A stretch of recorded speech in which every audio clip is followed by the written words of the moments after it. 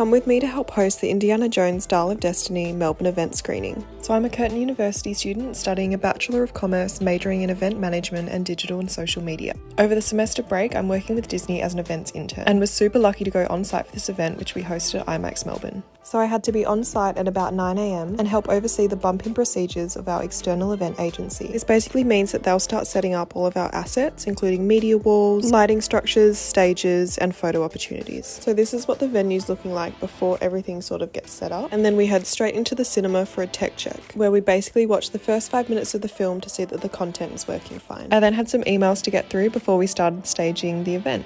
And if you've seen the film, you know it's set in Morocco, so we really wanted to lean into that for the theming of this event. So there was a heap of foliage, Moroccan theming, cushions, and warm lighting to give off the same vibe as the film. Here you'll see that our truss arch for the media wall is getting set up, and here's our beautiful bar which will eventually have a bunch of drinks that guests will grab from when they arrive. For this title we also implemented some 3D lettering on the media wall to really bring out that Indiana Jones IP, and we worked with some amazing florists to match the greenery and foliage you see in the film. Here's me doing a very awkward outfit of the day. We then started setting up this black drape around the venue, which basically blocks off any unwanted areas in the space. By this time it was nearing 6pm, which meant it was almost time for our guests to arrive. I realise I haven't even mentioned the best part yet, which was this whipping arena we had outside. You'll see a bit more of this in a second. And this is what the event looks like all set up. So this was our Moroccan bar with a variety of drinks for guests to choose from.